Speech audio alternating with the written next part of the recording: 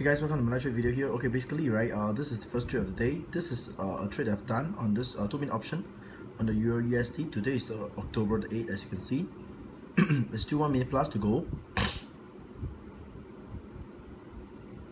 Okay.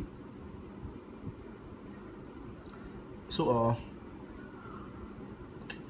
I hope that you guys have taken this trade because it's a, it's a, uh, trade that is according to the plan okay you must remember always trade according to the plan.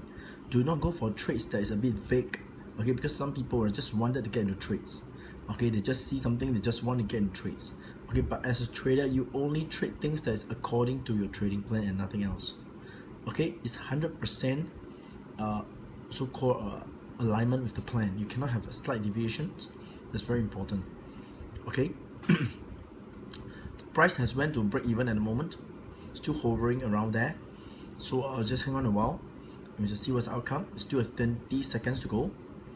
Okay and anything can happen in binary option at the very last second. So don't be surprised because uh, you have seen my video you have been following me you should know that you see? Moved up but anything can happen at the very last second. It will turn to, you may turn into profitable trades. Okay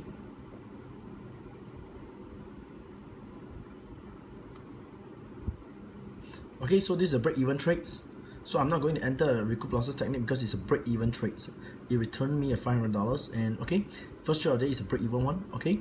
So uh okay I'll talk to you again